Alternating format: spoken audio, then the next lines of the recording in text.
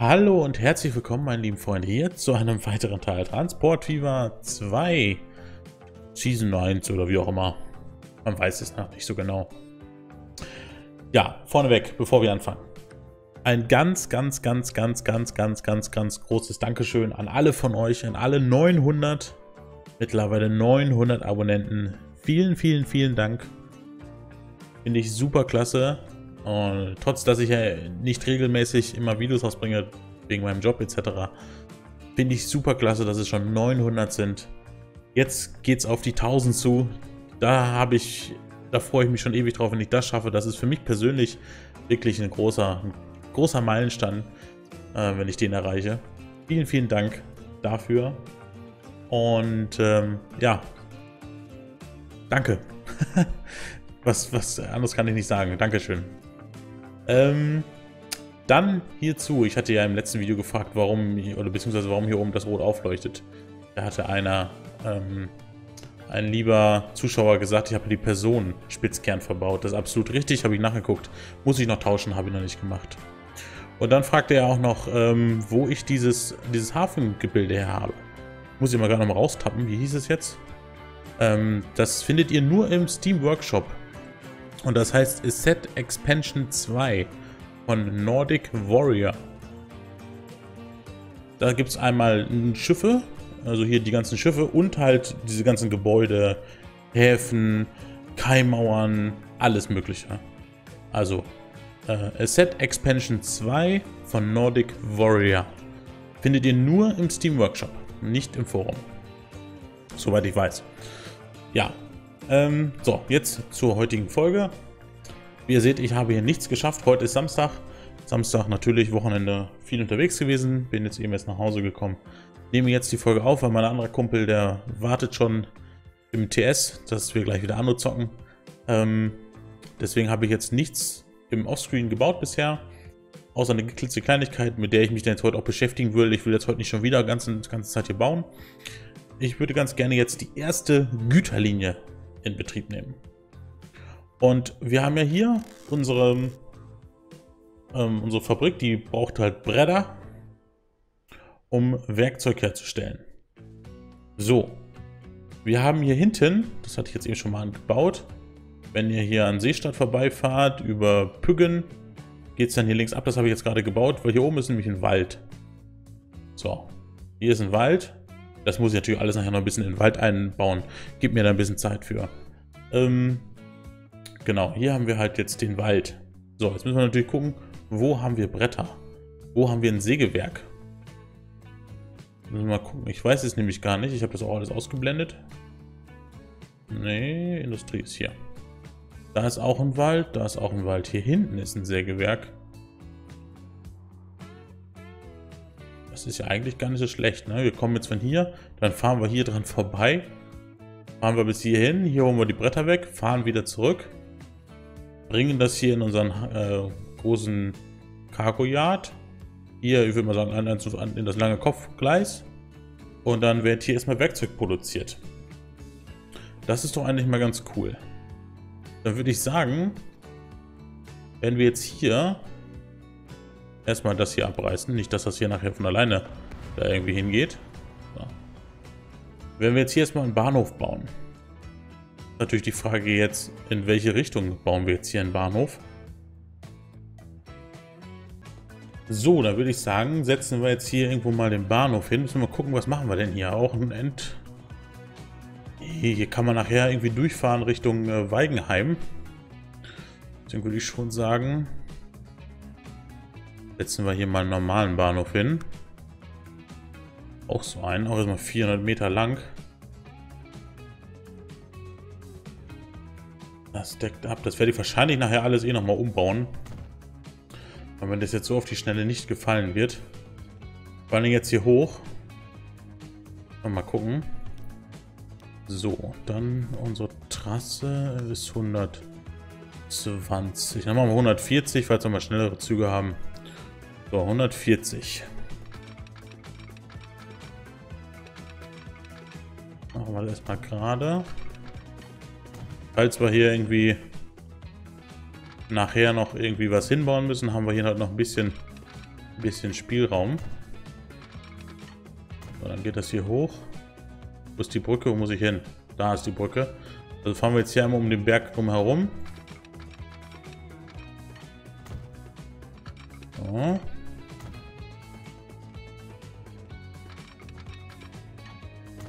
Schön hoch. Da geht es auch schon ganz schön hoch, ne? Oh, es geht. Es geht. Das geht. So. So langsam Kurs auf die auf die Brücke nehmen. Zack. Zack. So, und jetzt gehen wir da mal direkt drauf. Mal gucken, was dann passiert. Lassen wir eine Straße direkt davor. Das gibt auf jeden Fall eine hübsche Kollision. Die muss erstmal weg. So, nochmal. Gehen wir hier wieder direkt drauf. So, hier haben wir dann Bahndamm, Bahndamm, Bahndamm. Ja, aber das können wir so lassen. Doch, das ist in Ordnung. Die Straße geht gleich unter der Brücke durch. So. Zack.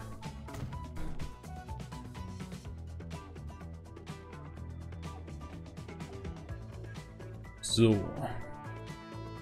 Dann haben wir das. Das sieht doch schon mal richtig gut aus. Ziemlich eben sogar. Dann würde ich sagen, setzen wir jetzt erstmal Signale. Das haben wir nämlich noch nicht. Signale haben wir überhaupt irgendwo hinten schon Signale? Ne, noch gar keine Signale hier. Das wird ja lustig. So, wir haben hier ähm, ein Hauptsignal. Zack. Wir dürfen die Abstände jetzt nicht zu groß setzen. Weil wenn nachher hier mehrere Züge fahren und die Abstände zu groß sind, dann äh, fahren die sich, Züge sich alle zusammen. Deswegen müssen wir jetzt hier mal ein paar kleinere Abschnitte machen. Dass im Notfall halt die Züge halt immer schnell eine enge Zugreihenfolge gegeben ist. Jetzt am Anfang macht das noch nichts, aber wenn wir jetzt mal so 50 Folgen weiter gucken, wer weiß, was dann hier abgeht. Ne? Und ja. Hier, das ist schon fast ein bisschen groß. Dann machen wir noch einen. So. Dann haben wir das. Jetzt haben wir hier ja auch noch Signale. Zack. Dann würde ich sagen, ist dieser ganze Abschnitt hier ist halt hier. So, von hier kann ich entscheiden, da jetzt oder darauf zu fahren. Das andere Signal steht da hinten. Dann muss hier halt noch ein Signal hin. So. Dann ist das jetzt eigentlich alles freigegeben. Dann komme ich jetzt sagen, kommt hier noch ein Signal hin. Zack. So. Na gut, und dann muss eigentlich jetzt hier in jedem Ausfahrtsgleis... Also hier ist ein Durchfahrtsgleis.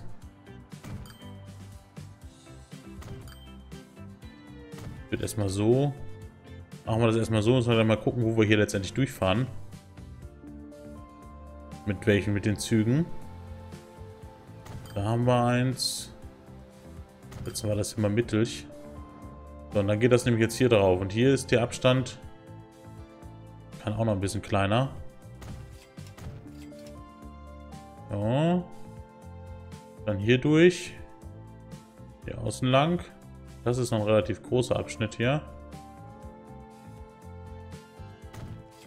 Machen wir hier hin. Geht's hier durch und dann geht's ab da rein. Das ist doch schon mal gar nicht so schlecht.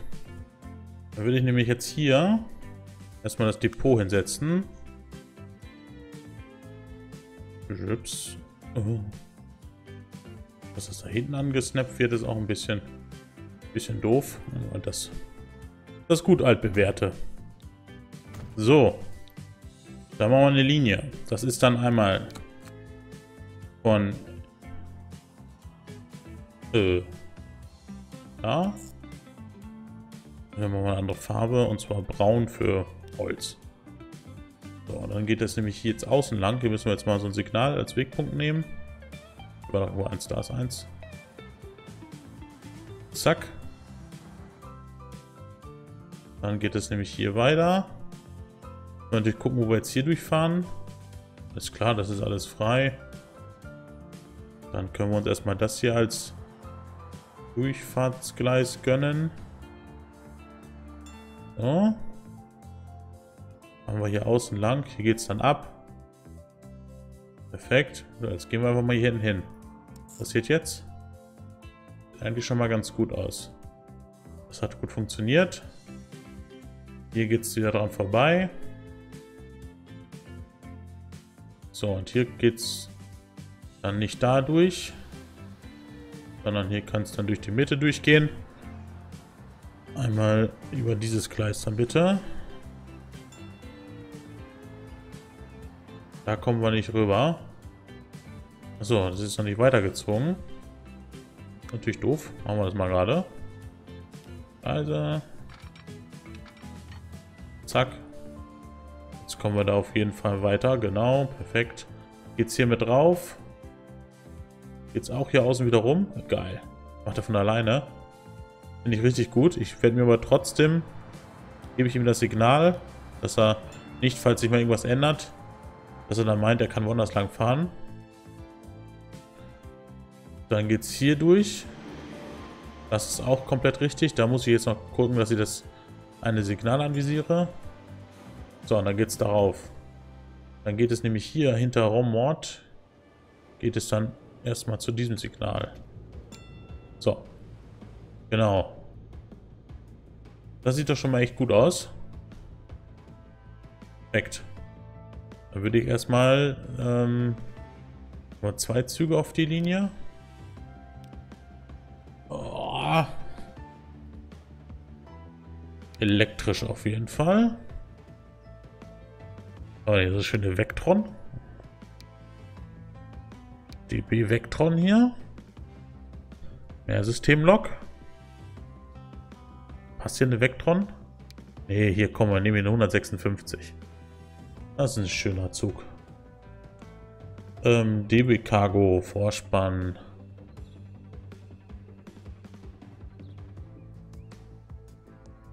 Baureihe 200? Was ist denn mit denen anders? Leipzig haben es irgendwie vorgestellt. Sieht ein bisschen anders aus, ne? Ne, wir nehmen hier die klassische. So. Cargo. Jetzt müssen wir mal gucken, dass wir irgendwie Rungenwagen hier haben. Heißt man oben, ne? Ne. Backwagen Reverse. Dann haben wir hier irgendwo Rungenwagen. Hier war Rungenwagen. Rungenwagen. Kann Holz transportieren. Fährt 160. Rungenwagen. Der kann aber nur 18 laden. Den finde ich eigentlich ganz schön. Ach, ich trottel. Ähm, hinzufügen. Gehen wir erstmal so auf 350 Meter, müssen wir gleich komplett übertreiben. Eine Kapazität von 340. So, kaufen wir den.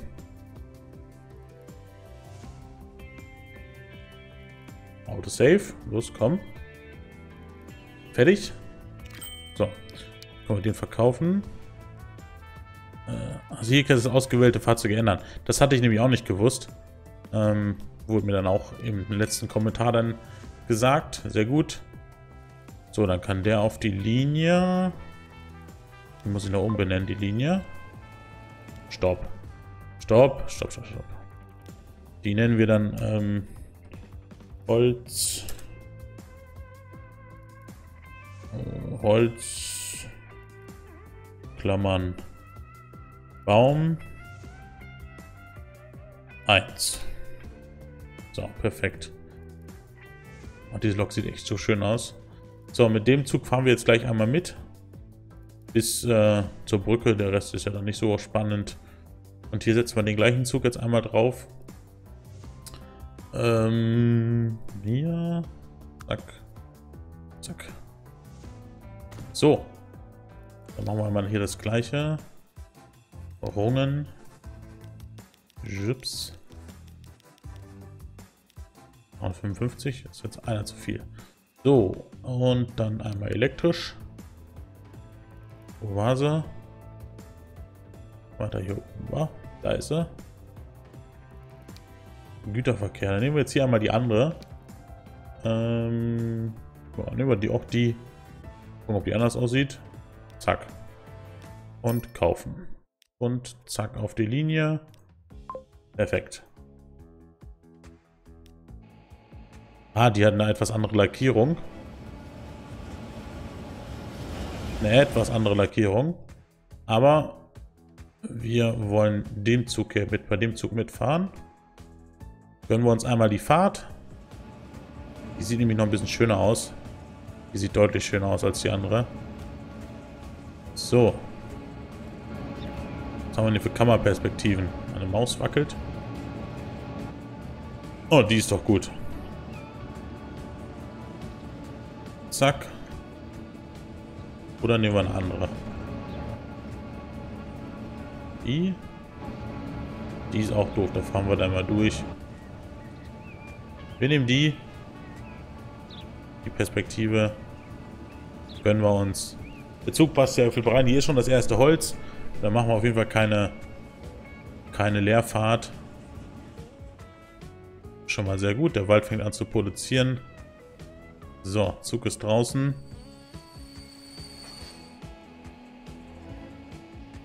Perfekt. Wie gesagt, das ist mein erster Güterzug. Wie ihr seht, ich kriege die ganzen Achievements gerade.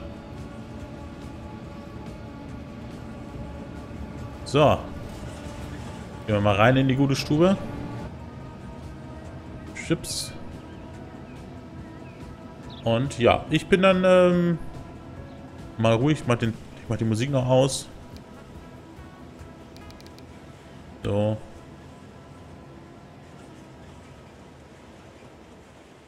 Musik aus, wo ist der Zug? Da ist er. Steigen wir ein. Zack. Oh, da ist ein Baum, aber deftig im Weg. Den muss ich wohl mal abreißen. Ja, ich bin da mal ruhig und äh, viel Spaß bei der Fahrt bis Minden.